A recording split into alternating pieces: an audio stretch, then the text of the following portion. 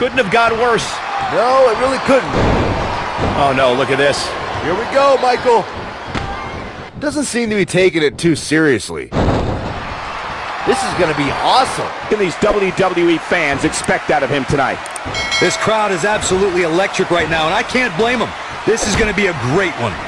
Here we go, Michael. One superstar determined to make a mark in his opponent. Expect him to bounce back, though. So what can these WWE fans expect out of him tonight? This crowd is absolutely electric right now, and I can't... So what can these WWE fans expect out of him tonight? This crowd is absolutely electric right now, and I can't blame them. This is going to be a great one. Here we go, Michael. One superstar determined to make a mark and his opponent, looking to take him down. Just look at this man. He's all business.